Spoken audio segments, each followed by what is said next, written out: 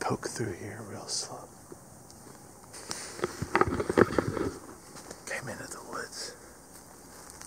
Look for blood, but with a 243. Not much, always, not much blood. But I'm just looking down the trails. I'm gonna do a little circle back around behind the feeder. Make sure I don't see any blood.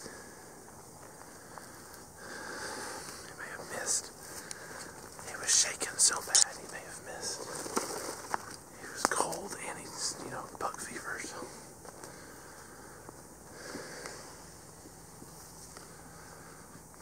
That's where we're at.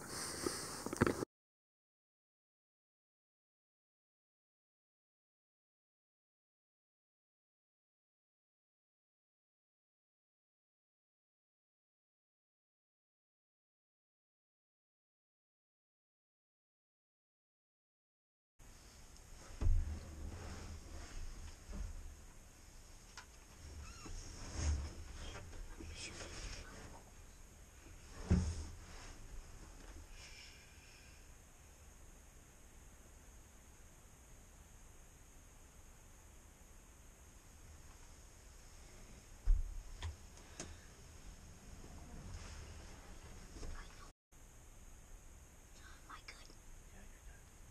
Okay.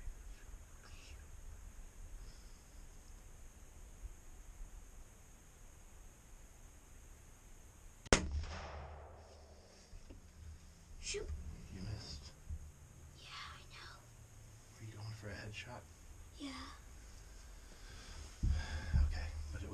headshot?